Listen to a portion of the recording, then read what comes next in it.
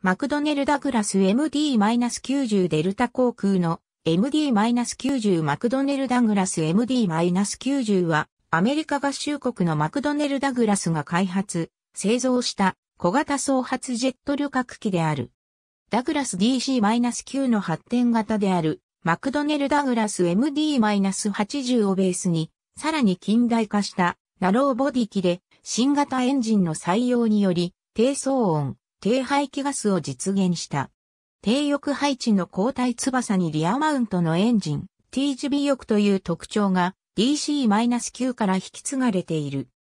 MD-90 の巡航速度はマッハ0.76、全長は46.50メートル、全幅は32.87メートル、最大離陸重量はオプション採用時の最大値が76.2トン。標準座席数は2クラスで153席、1クラスで172席、膠着装置は前輪式配置である。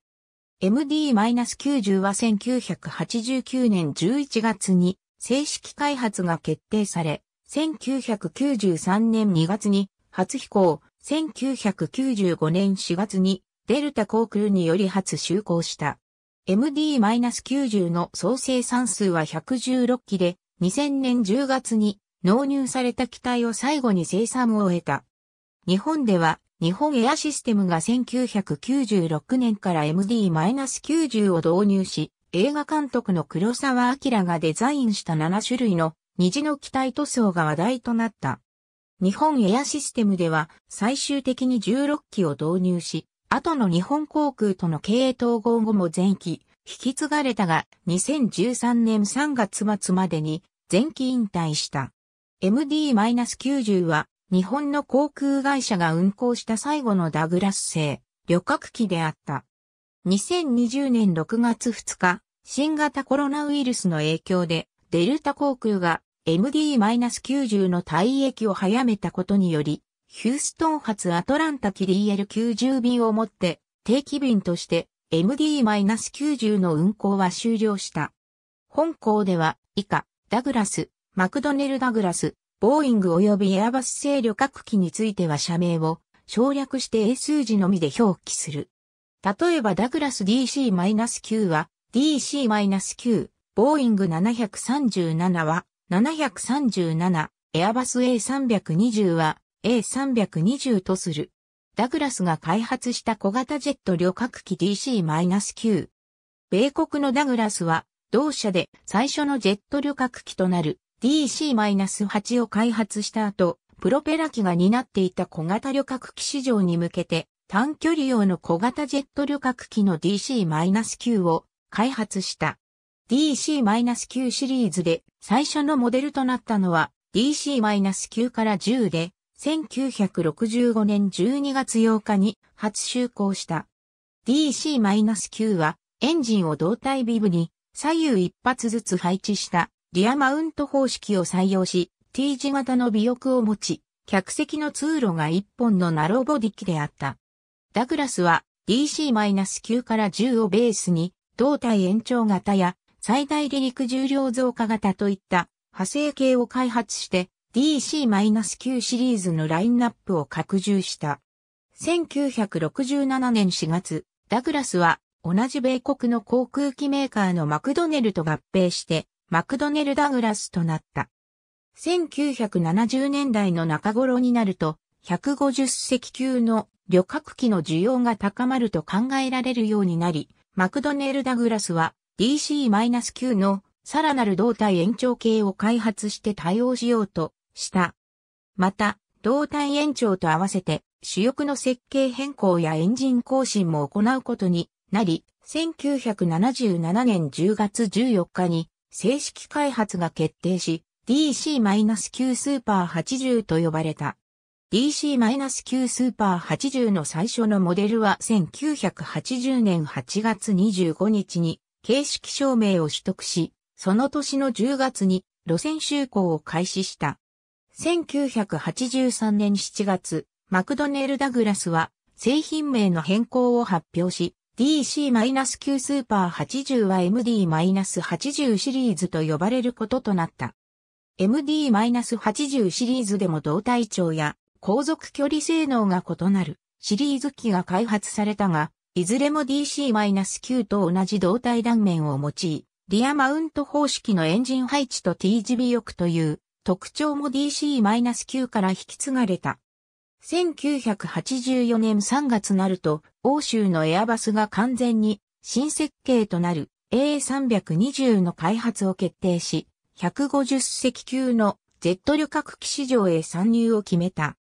また、1981年3月にはボーイングも737の発展型の開発を決定しており、さらに後継機となる新型小型機の研究を進めていた。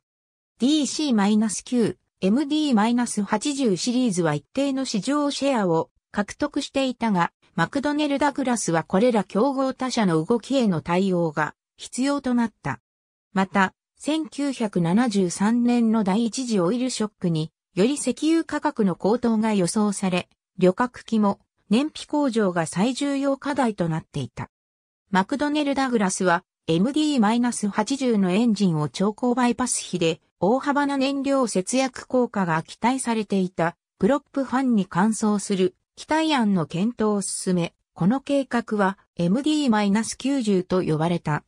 1987年から1989年にかけてエンジンメーカーの実証プロップファンエンジンを MD-80 の試験機に搭載し、飛行試験や展示飛行が行われた。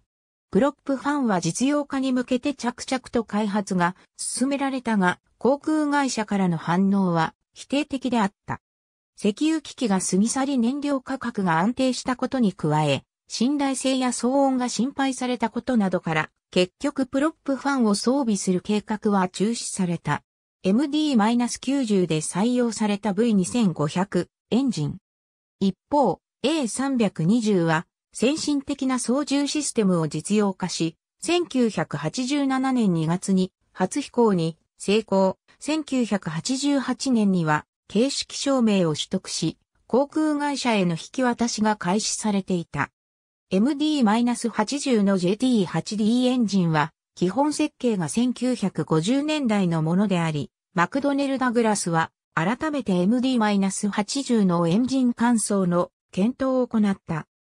候補となったエンジンは2種類あり、CFM インターナショナルの CFM56 と a ベイビ独位5カ国のエンジンメーカーの国際合弁会社であるインターナショナルエアロエンジンズ社の V2500 であった。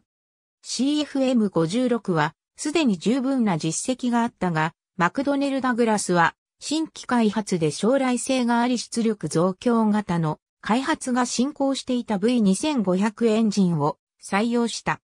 V2500 を装備した機体計画は MD-90V と名付けられ、1989年6月のパリ航空ショーで発表された。その後モデル名や細かい機体案が修正され、座席数153席で、航続距離が 4200km の MD-90 から30と燃料搭載量を増やして、航続距離を 5600km に伸ばす MD-90 から50を開発する計画となった。1989年11月14日、マクドネル・ダグラスは MD-90 の正式開発を決定したが、この時点では確定受注は得ていなかった。DC-9 や MD-80 の実績から開発を進めれば受注がつくとの判断による決定であった。実際に翌年までにデルタ航空、日本エアシステム、アラスカ航空から受注を獲得し、この3社がローンチカスタマーとなった。MD-90 を正面から見る。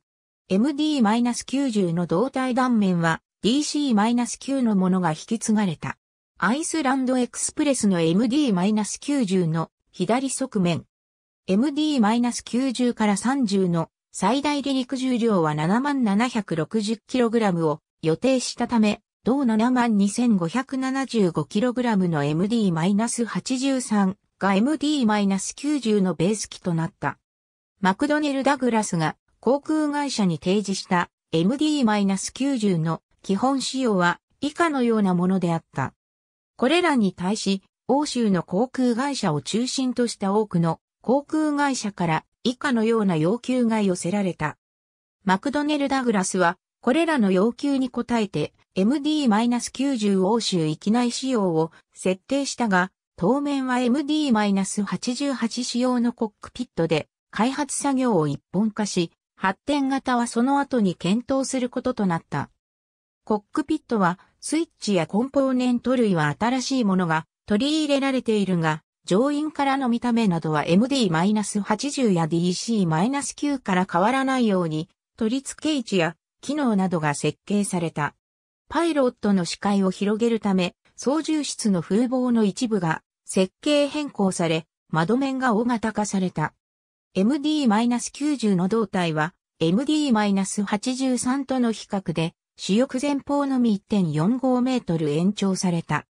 この胴体延長の主な目的はエンジン乾燥によるビブの重量増加に対して主翼前後の重量バランスを取ることであったが、10隻弱の座席数増加にもつながった。胴体延長に伴い、緊急時の脱出に関する米国連邦航空局の規制要求へ対応するため、主翼上に片側2箇所ずつある非常口のうち前方のものが1、フレーム分前方に移された。主翼は MD-83 のものが流用され、内部の構造や前縁、後縁、動翼などを MD-83 のままとし、上面と仮面の外板が強化された。垂直尾翼は MD-87 のものを先端を延長して流用し、胴体の結合部などが強化された。水平尾翼は基本的に MD-83 と同じだが、前縁は MD-87 のものが用いられた。機体構造の疲労寿命の中には、デザインサービスライフというものがあり、設計上の目標に用いられる。これは、特に問題となるような構造上の欠陥を生ずることなく運行できる寿命であり、飛行時間と着陸回数で表される。MD-90 のデザインサービスライフは表にに示すように原型とされた MD-83 よりも飛躍的に高い値が設定された。デザインサービスライフは目標値であり、これを超えると構造上の故障が多発するというわけではなく、実際にはこの値を超えた実績を記録している機体が存在している。マクドネル・ダグラスでは66,500回の飛行を行った DC-9 を1981年に買い戻して疲労強度の実証試験を実施していた。この試験により強化が必要な部分と余裕がある部分を確認され、設計や寿命の見直しを行われ、その結果が MD-90 の機体構造に反映された。客室の内装は一新され、座席上の手荷物入れが大きくなり、ストウェッジ下部には通路を移動する人のための手すりが追加された。また、デジタル式の空調システムが導入された。中国東方航空の MD-90 を下方から見上げる。操縦翼面が追加されたパイロンは、後円がエンジンの噴出口より後ろまで伸びている。エンジンは前述の通り愛車の V2500 ターボファンエンジンが採用され、リアマウント方式で取り付けられるよう、パイロンは新規設計された。パイロンはその後部に操縦打面が新設され、エンジンの噴出口の後方まで伸びた大型のものとなった膠着装置は前足、主脚ともに MD-83 のものを強化して流用された。ブレーキは新たにカーボンブレーキとなり、デジタル式のアンチスキットブレーキシステムが導入された。その他、新しくなった装備品には補助動力装置や不定速、低周波発電システムなどがある。MD-90 の最終組み立てはカリフォルニア州ロングビーチにあるマクドネル・ダグラスの工場で行われた。1993年2月22日、MD-90 は初飛行に成功し、ロングビーチ空港を離陸した初号機は5時間の飛行後、モハーベ空港に着陸した。初飛行において、基本的な対空性の確認、各種操縦設定における操縦性の初期評価、そして運行速度と高度に関する飛行可能領域の拡大に向けた作業の3点を主眼とした机上作業が行われたが、初飛行でこのような高度かつ広範な試験を行うのは稀なことであった。2年弱かけて形式証明取得のための試験が実施され、1994年11月4日、FAA によって MD-90 の形式証明が交付された。翌1995年2月24日、最初の顧客であるデルタ航空に対して初引き渡しが行われた。また、1996年9月20日には、欧州の合同航空当局からも MD-90 の形式証明が交付された。1995年4月2日、デルタ航空によって MD-90 は商業運行を開始し、ダラスフォートワース国際空港を拠点とした路線に就航した。1996年5月までにデルタ航空に加えて米国のリノエアと日本エアシステムにも機体引き渡しが行われ、計17機の MD-90 が就航し、出発信頼度は98.7%であった。就航当初は不定速、低周波発電システムの信頼性など電気系統に関する問題があったが、マクドネル・ダグラスが対策を行い出発信頼度の向上が図られたほか、航空会社によっては発電システムを他機種と同様のものに改修するところもあった。MD-90 は1995年7月の時点で74機のバックオーダーがあったが、受注活動は順調ではなかった。マクドネル・ダグラスは旅客機市場からの引き合いが続く限り MD-80 も生産を継続しようと考え、MD-80 と MD-90 の製造コストを低減するため、両機の生産ラインが共通化された。胴体の製造方法や工程を改善し、胴体の組み立ては、ロングビーチからユタ州のソルトレークシティに設立された工場に移された。また、設計管理や製品の構成管理を電子化し、生産や部品調達の効率化が図られたが、原型機から引き継がれた古い設計図や設備類、従来の生産プロセスなどを電子化するのは容易ではなかった。MD-90 の発展型の開発も計画されていた。MD-90 から30の最大離陸重量を増加して航続距離を伸ばしたのが MD-90 から 30ER である。MD-90 から 30ER では、膠着装置や主翼が強化され、最大離陸重量が標準型より1万ポンド引き上げられて 75,298kg となり、航続距離が441海里程度延長された。ただしその後、重量増加型は基本型のオプションとなり、MD-90 から 30ER の名前は使われなくなった。中華人民共和国の国内線向けに MD-90 から30の派生型も計画された。もともと中華人民共和国の国内専用機材として MD-82 が選定され、中華人民共和国でのノックダウン生産が行われていた。1994年11月4日に締結された契約では、中華人民共和国は、米国製の MD-80 と MD-90 から30を計20機購入し、国内で専用系を20機生産することとなった。この計画はトランクライナー計画と呼ばれ、中華人民共和国国内で生産する機体は MD-90 から 30T と呼ばれた。MD-90 トランクライナーでは、中華人民共和国国内の滑走路や誘導路の強度が低い空港へも就航できるように、主脚を四輪式に回収して地面にかかる荷重を分散させることとなった。新しい主脚の設計は、マクドネル・ダグラスと中華人民共和国の上海航空機製造の共同で行われ、組み立ても上海航空機製造で行われた。しかし、この計画は後に大幅に見直され、導入機は MD-90 から30に一本化されて、MD-90 から 30T は生産されないこととなり、中華人民共和国での生産も2期に終わった。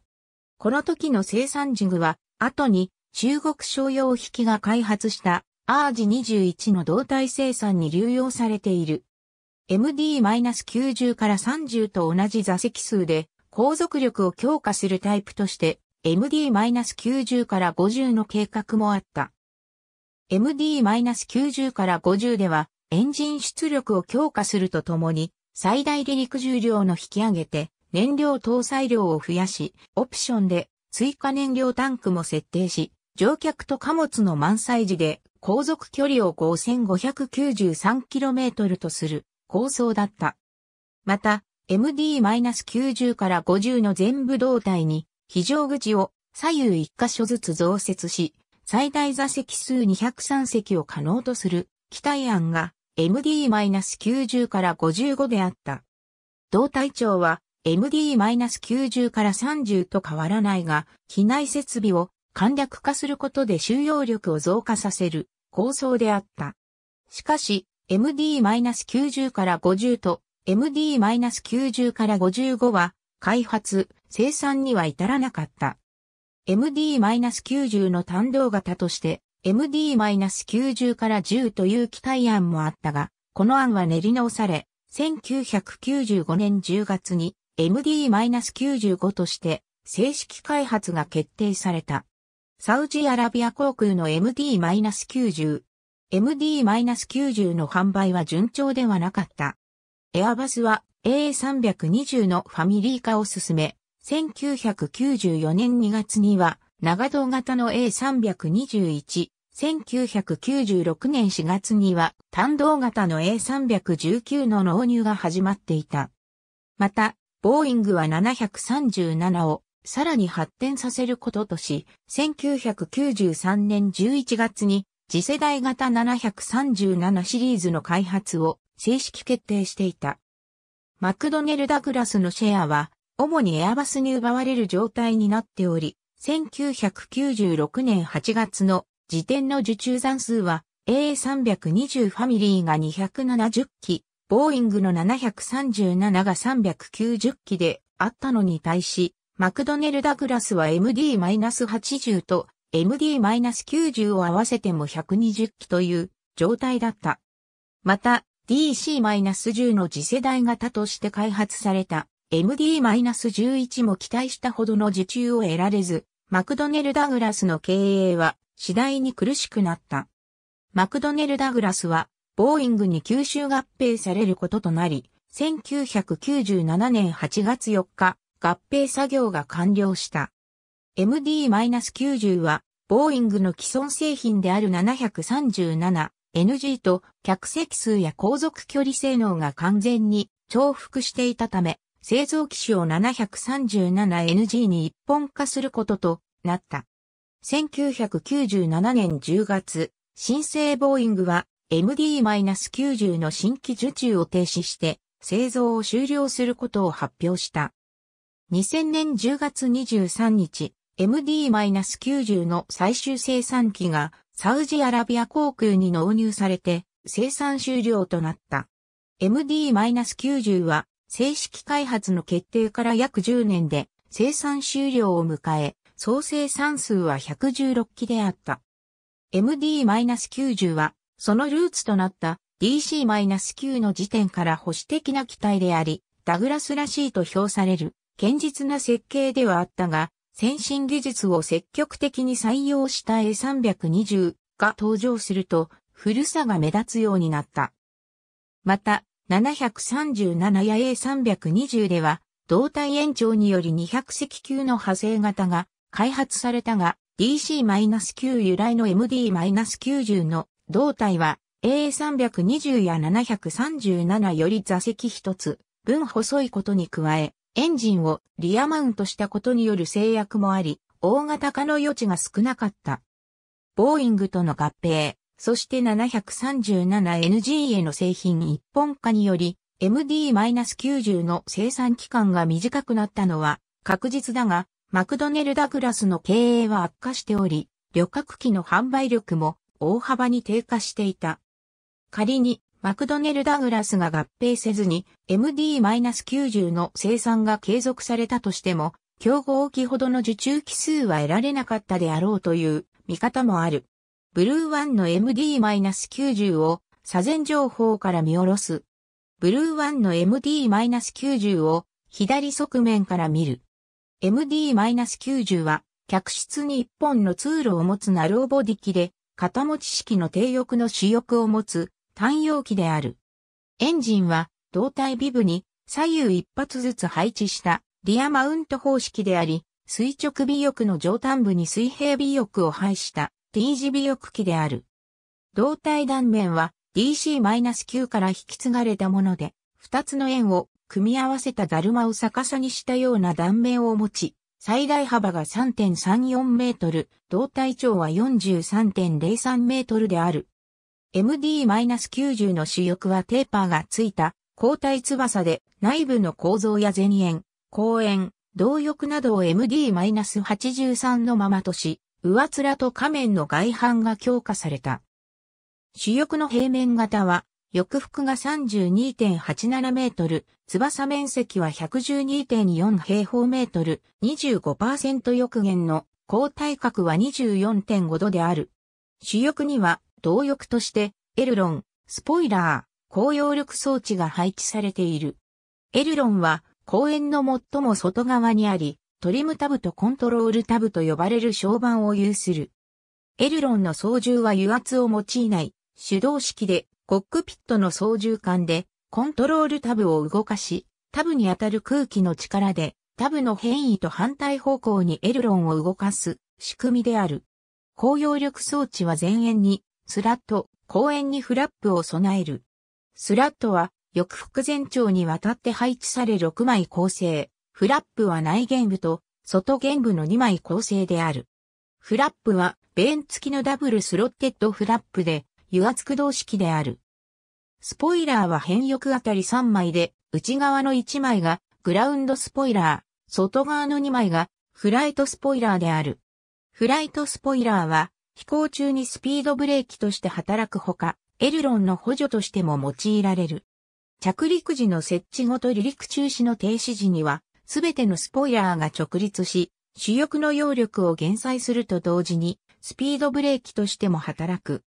尾翼は MD-80 シリーズのものをベースに改良が加えられた。水平尾翼は翼幅が12.25メートルで、左右の水平安定板に昇降だと3種類のタブが1枚ずつついている。昇降打の操作は MD-80 シリーズではコントロールタブを用いた手動式であったが MD-90 では油圧式となった。昇降打を作動させるアクチュエータは片側あたり2個、油圧源も2系統である。コントロールタブは油圧系統の故障に備えたバックアップであり、油圧駆動時には固定される。残り2枚のタブのうち、ギアードタブはコントロールタブによる操舵力を補助するものであり、アンチフロートタブは昇降打の角度が大きくなりすぎないように動きを抑制する役割を持つ。昇降打にはトリムタブはなく、電気モータにより水平安定板全体の取り付け角を変化させて縦方向のトリムを取る。垂直尾翼は垂直安定板、方向打、コントロールタブの角1枚で構成される。方向打の操作も油圧式であるが、油圧系統の故障時、またはパイロットが意図的に切り替えた場合、コントロールタブによる手動式となる。油圧での操縦時には、コントロールタブは固定され、方向打の中立位置を調整することで、トリム調整が行われる。エンジンパイロンは MD-90 で新規設計されたもので、後円がエンジンの噴出口よりもかなり後ろまで伸ばされ、後端部にパイロンフラップを備える。T 字尾翼機では、舵が効かなくなり、失速状態から抜け出せなくなるディープストールと呼ばれる状態に陥る場合がある。パイロンフラップは操縦桿の操作により作動し、リブの揚力を高め、ディープストール発生時の機体姿勢の操作をバックアップするためのものである。MD-90 を後ろから見る。前足のタイヤ下部を左右から覆うようについているのが、ウォーターデフレクター。主脚の下部に逆 T 字状についているのが、デブリスガード。膠着装置は、前輪配置で前足と主脚ともに二輪式である。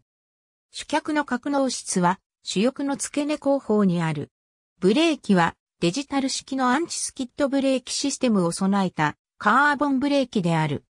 ビブのエンジンに向かって雨水や小石などの異物が飛ぶのを防ぐため、車輪下部に小型の覆いや日し状のパーツが取り付けられており、前足のものはウォーターデフレクター、主脚のものはデブリスガードと呼ばれる。燃料タンクは主翼内のインテグラルタンクのみである。補助動力装置としてガスタービンエンジンをビブに装備する。方向打やエルロンなどの動力、ビブのテールコーン、エンジンのカウルの扉などが複合材料製となった。使用された複合材料には炭素繊維強化、プラスチック、アラミド繊維強化、プラスチック、ガラス繊維強化プラスチックなどが挙げられる。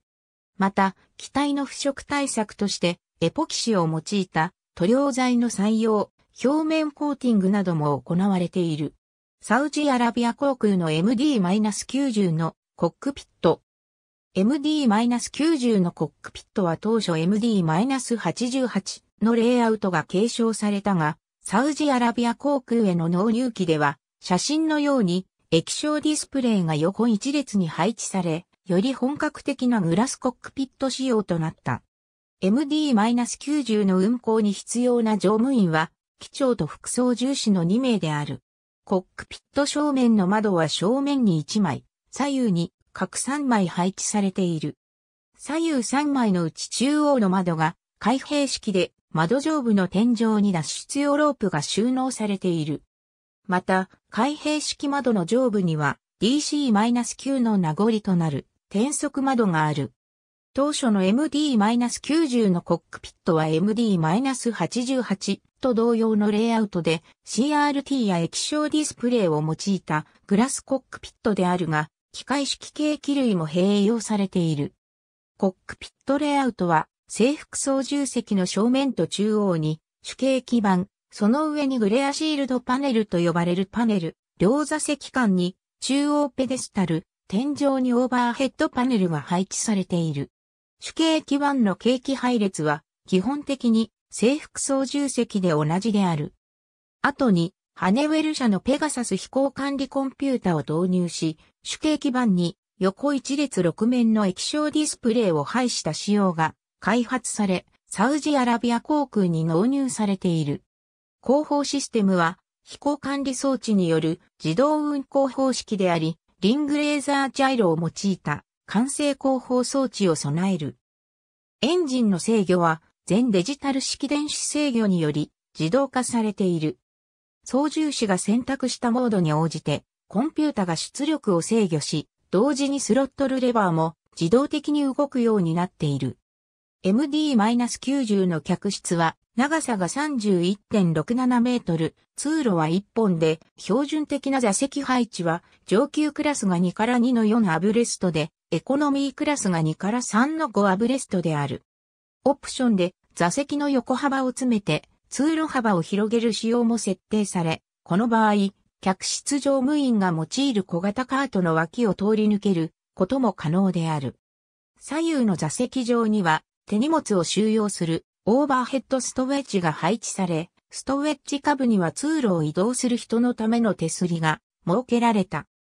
映像などを提供する機内、エンターテインメントシステムとして、ストウェッジ下部に引き込み式の液晶ディスプレイを装備できるオプションも用意され、日本エアシステムで採用された。座席の窓は10-14インチで、マクドネル・ダグラスによると737よりも11%大きい。合わせて窓の取り付け間隔を狭くなるよう配置され、機内を広く感じさせるとともに、最高面積が拡大されている。トイレはバキューム方式が採用された。中期中のアイスランドエクスプレスの MD-90。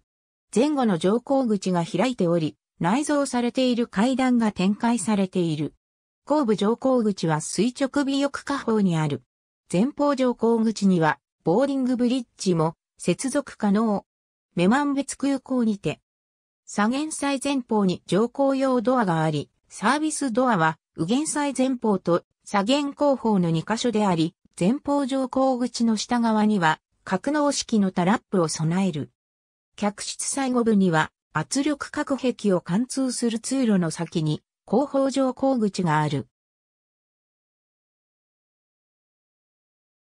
後方上降口はビブの中央にあり、ベントラルステアと呼ばれる階段を備え、扉が下方に展開する構造である。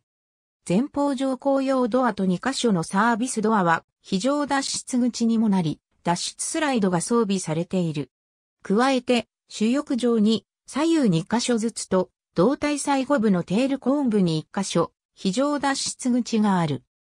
後方上降口は脱出スライドを付けられない構造のため、後部ドア付近の天井から緊急脱出口への別通路が設けられ、緊急時にテールコーンが外れて脱出スライドが展開される。床下の貨物室は主翼の取り付け部と主脚の格納室を除いた部分に割り当てられている。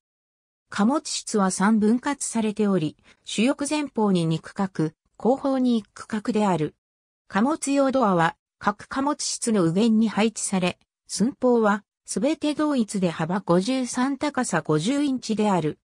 すべてバラ積み方式であり、積み下ろし作業は人手で行う必要があるが、地上から貨物室床までの高さは1.4から1.6メートル程度であり、地上の支援機材などがない場合でも貨物の積み下ろしが可能である。貨物室は室内高が1メートル弱、長さが10メートルである。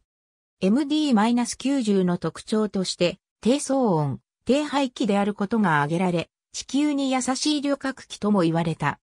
国際民間航空機関の騒音規制に基づき、計測された累積騒音レベルは MD-90、737、A320 の中で MD-90 が最も小さかった。同じ V2500 エンジンを装備する A320 よりも低騒音であることについてマクドネル・ダグラスではエンジン配置に代表される MD-90 の機体構成よるためと説明している。リアマウント方式では速報への騒音は胴体とビブが離着陸時の下方への騒音は主翼が遮ることで騒音値が低くなるとしている。また、リアマウント方式ではエンジンのカウリングを前後方向に長く取れるため MD-90 用の V2500 エンジンでは、エンジンノイズを低減するようにナセルが変更されて、空気流入口が延長されたほか、テールコーンもノイズ対策が施された。また、離陸後の高度に応じて、緻密にエンジン出力を絞ることで、騒音を低減させるシステムもオプションで用意されていた。この MD-90 の騒音の小ささは、地上にてすぐ近くを自力でタキシングしていても、ちょっと気がつかないくらいとも評価された。排気ガスについても、V2500 エンジンは、窒素酸化物、一酸化炭素、炭化水素それぞれについて、開発当時の ICAO の規制基準を大きく下回っている。MD-90 で装備された V2525D5 型の証明取得基準で見ると、窒素酸化物は約50%、一酸化炭素は約80%、炭化水素は95%以上基準値を下回っていた。MD-90 の心臓機の導入は、北米とアジア、中東地域の航空会社を中心に行われた。心臓機の受領数は、サウジアラビア航空が29機で最も多く、デルタ航空と日本エアシステムが16機ずつ、中国北方航空が11機、ユニー航空が10機であった。2010年頃から運用数が減り始めた。一方で、デルタ航空は経営統合した旧ノースウエスト航空から引き継いだ DC-9 の後継機材として世界中の航空会社から MD-90 の中古機を買い取った。古い機体は燃料費やメンテナンスコストが高くなるが、デルタ航空では、心臓機の導入よりも10億ドル以上の節約になるとしている。2014年には、デルタ航空が65機を運用し、他には、中華民国のエバー航空とユニー航空でも5機ずつ運用という状況となった。2016年には MD-90 を運用する航空会社はデルタ航空のみとなり、2017年7月現在、64機が運用されている。MD-90 は、日本では日本エアシステムにより採用された。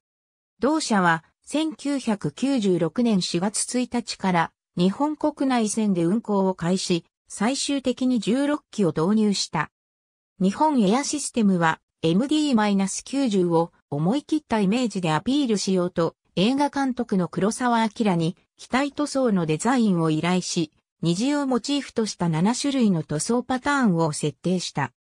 この7種類の塗装は1号機から7号機まで順番に設定され、黒沢の監督作品にちなんで7人の侍と呼ばれて航空関係者や航空愛好家をはじめ多くの人たちの話題を集めた。8号機以降は1号機からの塗装が繰り返され、同一塗装の機体が複数揃ったことから同じく、黒沢作品にちなみ、影武者とも呼ばれた。2004年4月に日本エアシステムと日本航空が経営を完全に統合した際には、MD-90 も前期に引き継がれ、当時の統一デザインである太陽のアーク塗装に塗り替えられた。なお、日本エアシステム時代の実機は現存していないが、愛知航空ミュージアムには全7種類のミニチュアがモニュメント展示されており、当時の姿を全身で見ることができる。日本エアシステムと日本航空の経営統合後も MD-90 は引き継がれ、羽田空港や伊丹空港と地方を結ぶローカル路線を中心に運行された。2011年の東日本大震災の発生直後には山形空港や花巻空港へも飛行した。前後の乗降扉にタラップを備え、貨物室までの高さも低い MD-90 は電力不足でボーディングブリッジなどの地上設備が使えない空港でも乗客や貨物の積み下ろしができたため震災直後の輸送に活躍した。日本航空では2012年から順次 MD-90 を引退させたが、塗装更新のタイミングにあった一機のみ、新しい鶴丸塗装が施され、航空愛好家の話題となった。日本航空の MD-90 は2013年3月末に運行を終了し、引退した全機体はデルタ航空へ売却された。これにより、日本の航空会社によるダグラス製旅客機の運行にも終止符が打たれた。MD-90 は、総計116機が生産、納入された。2017年10月現在、MD-90 に関する航空事故及び事件は3件発生している。いずれの事故でも機体損失となっており、そのうちの1件で乗客1名が死亡している。死亡事故は1999年8月24日に台湾のカレン空港で発生した。ユニー航空873便が着陸後に地上走行していたところ、座席上の手荷物入れで爆発が起き、火災が発生した。乗客乗員96名のうち1名が死亡、27名が負傷した。事故原因は乗客が家庭用の漂白剤及び柔軟剤の容器に入れたガソリンを機内へ持ち込み、漏れ出して揮発したガソリンが同じく機内に持ち込まれたバイクのバッテリーの火花で引火したためと推定されている。2件目の機体損失事故は2009年3月9日に発生した。インドネシアのスカルノハッタ国際空港へ着陸したライオンエア793便が滑走路をオーバーランした。乗員乗客172人が搭乗していたが死者はなかった。3件目の機体損失事故は2009年5月8日に発生した。サウジアラビアのリアド国際空港へ着陸したサウジアラビア航空9061便が滑走路をオーバーランし、左出脚を破損した。火災は発生しなかったものの、機体は全損扱いとなった。